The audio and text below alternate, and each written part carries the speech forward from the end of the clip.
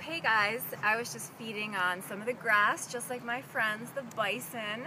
Um, the bison used to roam the Great Plains in the United States for hundreds of years, and then um, once the railroad system was built, the bison started to get hunted for um, their pelts and food and you know other uses for them. And their numbers got so low that actually here in Golden Gate Park, San Francisco, the, uh, they established a captive breeding program, which is where you take animals from the wild and you breed them in captivity, and their numbers climbed to about 200,000 in the 1990s. So that's a really successful captive breeding program.